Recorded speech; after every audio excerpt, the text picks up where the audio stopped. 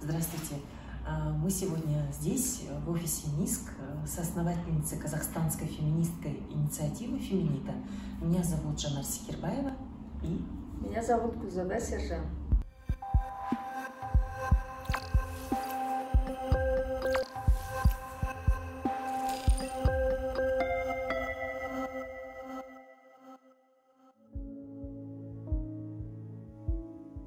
Мы э, соосновали нашу феминистскую инициативу в 2014 году, и с тех пор э, от имени ЛБКТ сообщества, от имени лесбиянок, бисексуалок, квир и трансженщин Казахстана э, делаем активизм, который вот, э, в основном сфокусирован на права, адвокацию, мониторинг ЛБКТ женщин.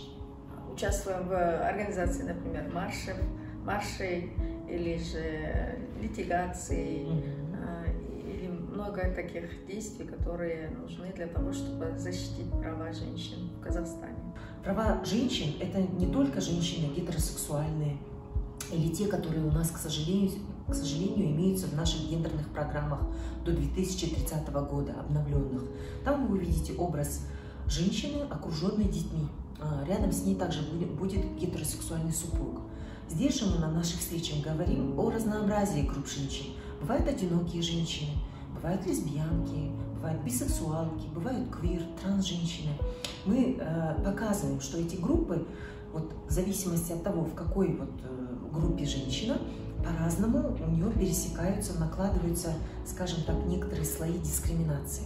Если девушка будет в селе, и она будет в инвалидной коляске, и еще, например, она будет лесбиянкой, то вы можете представить, сколько у нее будет слоев, скажем так, дискриминации. Вот это все мы примерно, вот, вот такая тема, плюс добавляем э, наш рассказ о институтах адвокации, таких как э, комитеты ООН, куда мы постоянно докладываем о ситуации ЛГБТ, рассказываем о спецдокладчиках, рассказываем о квотах гендерных, в чем их э, негативная сторона для Казахстана именно в настоящее время – рассказываем а, о списке запрещенных профессий, которые, а, которые удалось отменить именно благодаря нам. Мы сегодня не стесняемся это заявлять.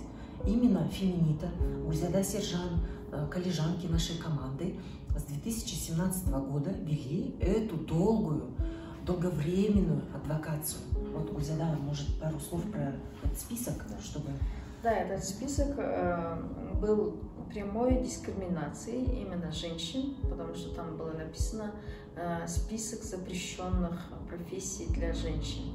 Э, после того, как э, прошла наша адвокация, э, наших союзниц, э, феминиты, э, была попытка э, заменить слово запрет на ограничение.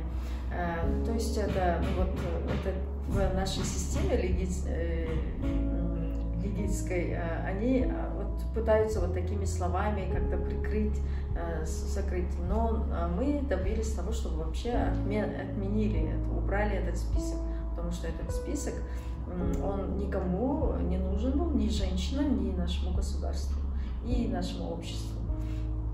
А, э, нам удалось поднять эту тему и вывести на поверхность, чтобы все поняли, что этот список никому не нужен. Вот хотелось бы вам донести, что мы занимаемся правами человека. Не особенными правами, какими-то дополнительными, не людьми, которые вообще не казахстанцы. Мы казахстанки, казашки. Э, закончили здесь образование, здесь родились. Это вот наша земля. Э, мы занимаемся активизмом, потому что это то, где мы живем.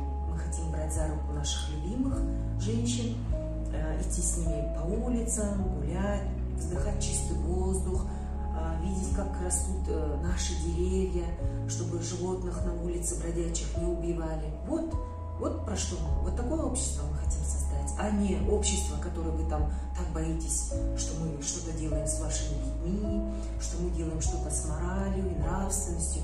Извините меня, я исследовала казахские сказки, я вам первое сообщу, если это вам будет новостью, что казахские народные сказки содержат столько квир и столько трансгрессивных сюжетов, что вам и не снилось, что вы даже и не подозреваете. Ну, например, Дида Дудар Кыс, девушка, постоянно переодевающаяся в парня. Или, например, она держала ножку Сайгака у себя между ног, потому что она хотела доказать а, мужчине, что она мужчина. Или, например, э, как постоянно переодевались девушки-лучников, выигрывали таким образом конкурсы, когда главный приз был, знаете что, не какой-нибудь конь, не какой-нибудь там слиток золота, а главный приз была девушка хана, э, дочь хана. Вот такие трансгрессивные сюжеты в казахских народных сказках, которые не я придумала, и, наверное, не вы, а наши прабабушки придумали, прапрапрадедушки придумали. В заключение хочется сказать, что мы, э, казахстанская феминистская инициатива Феминита, будем продолжать работу в Казахстане, как казахстанские феминистки.